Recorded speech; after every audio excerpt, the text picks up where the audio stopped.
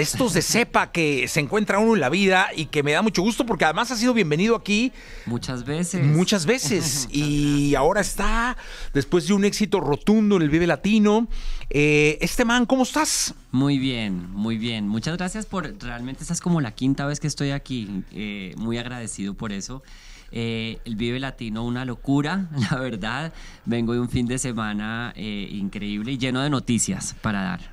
No, hombre, y sabes que me da mucho gusto eh, el proceso que luego cumplen los artistas en este espacio de crecimiento, de paciencia, de trabajo y de, como decimos acá, de no rajarse, ¿no? Así es, así es. Sí, esto es una, yo digo que esto es una, una carrera, una profesión de, de, mucha lucha, de, aguante, de constancia. Eh, y, y definitivamente para mí eso ha sido clave, ¿no? Eh, poder darme el tiempo siempre de, de, seguir creciendo, de encontrando cada vez más voces dentro de mí para contar algo. Eh, como lo dices, he estado aquí y tú has visto mi proceso, pero no me puedo quejar, ha sido un proceso muy bonito. Han sido ya, son seis años viviendo en México. Eh, hace seis años toqué en el Vive Latino justo cuando llegué aquí y es increíble la evolución que he tenido eh, ¿no? Y, cómo el público mexicano ha estado en ese proceso acompañándome, ¿no? Eh, desde tocar en el lunario del auditorio, pasando por el Plaza Condesa, por, luego por el Metropolitan y bueno, y ahora con este anuncio que tenemos. Entonces sí, ha sido, no me puedo quejar, estoy feliz. Pero sabes que me encanta que todos, todos, todos estos escalones que fuiste mencionando eh, se han venido subiendo con mucho trabajo. Así es. Que eso es importante. Cuéntale al público, este man, porque yo siempre he tenido eh, la duda de la, pues debe ser la relación, ¿no? Persona-artista. Y debe haber una comunión muy grande entre la persona, entre el humano, y el artista que es emocional, que es un torbellino. Y yo siempre creo que cuando estas, esta relación se rompe, se viene abajo mucho o todo. Sí. Eh, ¿Tú cómo interpretas esto? Mira, para mí ha sido esencial poder mostrar en mi proyecto artístico en este man quién es Esteban si no, no hubiera podido seguir adelante y no hubiera podido seguir creciendo, ¿no? Y cuando digo eso es que eh, realmente este man nació como un personaje, un alter ego que yo tengo para subirme al escenario, pero con el paso de los años me di cuenta lo importante que es que la gente conozca quién está detrás y a través de mis canciones, ¿no? Mostrar ese lado humano, ese lado vulnerable, ese lado también, eh, digamos, lleno de, particularidades, de rarezas, que es precisamente lo que hace que yo conecte con la gente. Eh, y creo que hubo un momento en mi carrera donde yo dije, si yo no me muestro tal cual como soy, yo no voy a poder seguir, ¿no? Eh, y eso fue clave, fue justo cuando llegué a México además, eh, y lo digo también porque me sirvió en parte poder hablar de mi orientación sexual, de mostrarle a la gente quién era yo, pero sobre todo para poder seguir con mi música y hacer música que siempre ha sido para todos, pero pero poder estar tranquilo con quien yo soy y hablar a la gente sin filtros eh, ha sido increíble y creo que eso es parte, en parte lo que ha logrado que conecte también mucho con la gente, que mi música tenga esa parte, digamos, muy sensible, que a veces le ayuda a la gente, no sé, a aceptarse, a pasar por momentos duros eh, y es parte de lo que recibo mucho, ¿no? Esos mensajes donde me dicen como gracias, me ayudaste a salir de una depresión o, y todo eso tiene que ver mucho con aceptarme como soy, compartir ese, ese lado humano que tengo y hacer las paces con Esteban, ¿no? Esteban y Esteban unidos, dándose la mano, porque si no, yo creo que uno no puede seguir adelante, ¿no? Como que esa cosa de tener una máscara y ser otro aparte a mí no me funciona. Oye, y te voy a decir una cosa, es una buena manera de dejar que tu, tu, público que emocionalmente te no solo te consume, sino te quiere mm. y está pegado a ti, se meta hasta la médula, ¿no? Así es, sí, es, es de alguna manera dejarlos entrar a la vida eh, obviamente manteniendo las cosas muy claras con lo que no, como que hay, hay una cosa que es la vida privada, pero hay, hay otra cosa muy bonita y es poder uno sentirse libre de mostrarse tal cual como es, ¿no? Y eso para mí ha sido... Un respiro absoluto, ha sido clave, ¿no? Eh, y lo viví en el Vive Latino. Yo siento que a, mi primer Vive Latino fue en el 2013, primera vez que venía a México, toqué en la Carpa Intolerante Y pues estaba todavía empezando, estaba empezando a conocerme, a decir, bueno, eh, sí, me encanta la parte teatral y toda esta cosa como de, tener estos movimientos en el escenario, pero yo creo que todavía me faltaba mucho para entender lo, lo, importante que es uno dejarse ver sin filtros ante su público y cómo eso lo lleva a uno a hacer canciones que uno nunca hubiera creído que hubiera podido hacer, ¿no? Entonces ha sido un proceso increíble. Y ahora, ¿qué tal te, o sea, de, ese paso, no es que te subiste el fin de semana al escenario y te acordaste de aquel 2013? O sea, que dijiste, no manches, yo empecé eh, aquí mismo y ahora mira. Es una locura, la verdad. O sea, yo, yo, yo digo como, de hecho se lo, lo, dije ahí porque caí en cuenta como, bueno, es que hace 10 años estuve en el Vive Latino y acababa de llegar a México hace seis años me vine a vivir a México eh, y, le dije a la gente, como es increíble cómo ustedes han hecho parte de este proceso y me han estado acompañando durante todo esto. Eh, y aquí estamos y pues son cinco veces más de personas. No, realmente era una cosa impresionante. Yo no sé cuánta gente había en ese escenario, pero era increíble, ¿no? O sea, eh, sí fue una, una locura. Tocamos a las 8, eh, de la noche empezamos. Al mismo tiempo estaban los Caligaris en el escenario principal. Que hoy están acá. Ah, que hoy están aquí. mira, qué chistoso. Y al final de mi show empezaban los últimos 20 minutos León Larregui. Pero fue increíble la cantidad de gente que había conectada eh, y, pues poder dar la noticia, que ya lo digo, del Auditorio Nacional. Eso, muy bien. que, imagino que vamos a hacer dos, ¿no? Ay, pues yo espero. Yo digo, este es mi primer Auditorio Nacional eh, y la verdad, mira, me lo estoy tomando... Eh, algo que me cuesta trabajo porque yo soy un perfeccionista, un obsesivo compulsivo absoluto y es disfrutarme el proceso, porque obviamente uno, uno se sufre estas cosas también, yo, a mí me gusta que las cosas salga bien, salgan bien y demás, pero, pero estoy muy emocionado y vi a la gente muy emocionada ese día que lo anunciamos, he recibido muchos mensajes, entonces pues nada, vamos con todo a hacer ese auditorio nacional. 9 de noviembre. 9 de noviembre. Este, ¿Cuándo salen los boletos a la venta? Salen el jueves. Ah, ya. Ya.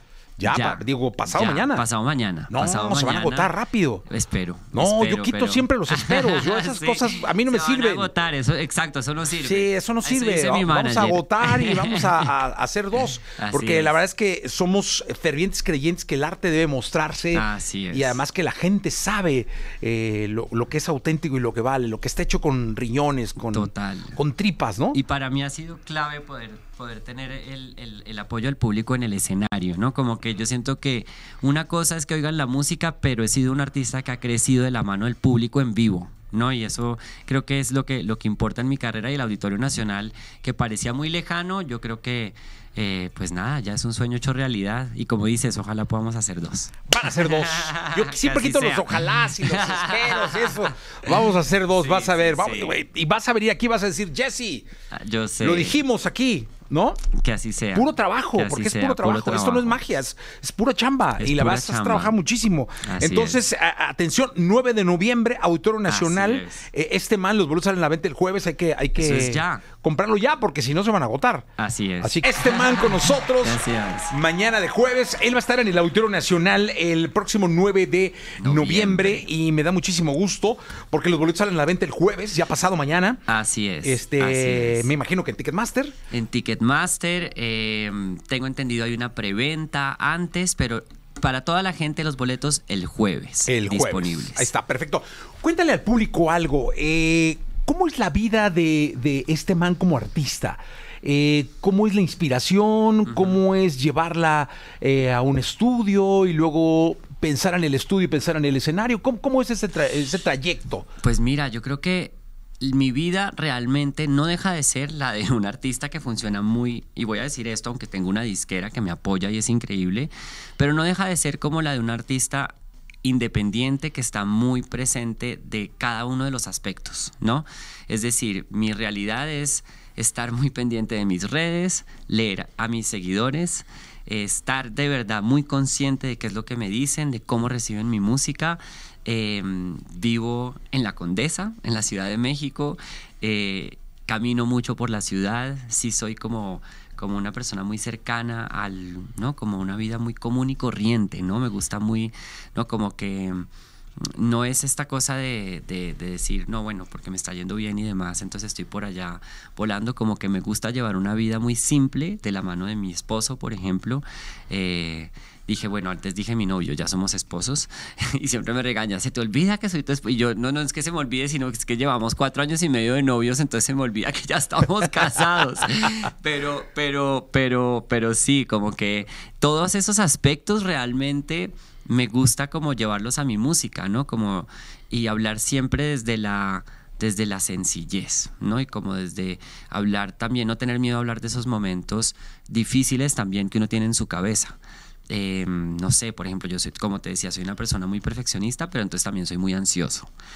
Toda esa parte como, como que me hace un ser humano muy, muy real, me gusta llevarla a mi música, ¿no? Entonces, eh, todo eso, eso por un lado, me preguntabas también cómo es el proceso en el estudio. Em, yo escribo mi música, pero me encanta escribir con otras personas, me encanta colaborar eh, y así he escrito canciones con muchos otros amigos, artistas, me encanta hacer equipo eh, y, y, llevar eso obviamente al estudio. Ahorita estoy creando, terminando de crear mi próximo disco que va a ir saliendo durante todo este año. Se viene una nueva canción que además me voy a atrever aquí a presentarla en primicia antes de que salga. No ha salido. es maravilloso. Eso es maravilloso, sí. Eh, pero bueno, aparte de eso, sí, digamos, eh, el proceso de trabajar en el estudio con Adán Jodorowsky, por ejemplo, que admiro mucho. Ahora estuve también con Manu Lara, que es un productor que me encanta porque así como ha producido artistas como a Sebastián Yatra, a Dana Paola, por otro lado, está muy consciente de esta parte de la música que a mí me gusta, eh, digamos que se mueve muy entre lo alternativo y el pop, ¿no? Eh, y me encanta estar con personas así. Eh, también hizo el disco de Caliuchis, ¿no? Eh, pero, pero, pero eso, estoy, he, construido canciones que me están gustando mucho y que, que creo que definen mucho este proceso que llevo en la música de casi 14 años, ¿no? y es el de, uno, hacer letras que conecten con la gente, pero no dejar esta parte del flow y del ritmo, ¿no? pero darme la, la, libertad de seguir tratando con nuevos ritmos. Se viene una bachata, por ejemplo, en este ah, nuevo disco, cosa que, que antes no había hecho, pero también canciones como esta que van a oír, ahorita y que les voy a presentar, que se llama Despertar, que sí tienen esta cosa de la nostalgia, del sentimiento, que habla de algo que, que, que yo no me atreví a hablar mucho y es de de esos momentos oscuridad de la mente en, la que uno, en los que uno termina casi como en un laberinto sin salida eh, y finalmente hay alguien que te ayuda a aterrizar, ¿no? Se llama despertar. Oye, ahí te va algo. Eh, van dos veces que mencionas perfeccionismo y van dos veces que mencionas ansiedad. Eh, alguna vez yo con mi terapeuta, platicando de mi ansiedad, me decía que una buena manera de, controlarla o de estabilizarla era relacionándote con ella. Es decir, güey. Totalmente. Haz una relación con tu ansiedad, conócela, pues, hazla como, hazla como parte de ti, hazla como una amiga, ¿no? Eh, ¿Le has escrito alguna vez a la ansiedad? Pues esta canción tiene que ver un poco con eso, pero me gustaría tal cual escribirle así como dices, como si fuera una persona. Sí, es que creo que a los que tenemos, pues eso, eh, algunos los controlamos con una gotita, con una pastillita o algo. Otros con esta relación, ¿no? de espiritual que puede llegar a ser, ¿no? Sí, sí, yo creo que, o sea, para mí es tal cual eso. Es uno, bueno, acabas de decir terapeuta, tal cual. La terapia es maravillosa para uno entender cómo funciona, pero también yo creo que es que vivimos en un mundo actualmente que genera también ansiedad. Las redes sociales esta cosa del, de la inmediatez, de vivir en un mundo de lo, donde todo es ya, ya y todo se olvida. ¿No? Entonces yo creo que eso nos genera a todos mucha ansiedad, la competencia, el exceso de información, ¿no? Como que em, siendo músico y lo vivo y lo hablo con amigos constantemente, con Daniela Espala, con todos los días nos sentamos y decimos como, uy, qué nervios esto, qué irá a pasar con esto, uno las redes sociales, otro qué está pasando con los demás, eh, y aunque uno no quiera competir, es inevitable no tener la referencia de otros amigos, de otros artistas que están haciendo cosas, entonces todo eso te genera, obviamente, enfrentarte a muchos miedos, a muchas inseguridades y por lo tanto salta la ansiedad, ¿no?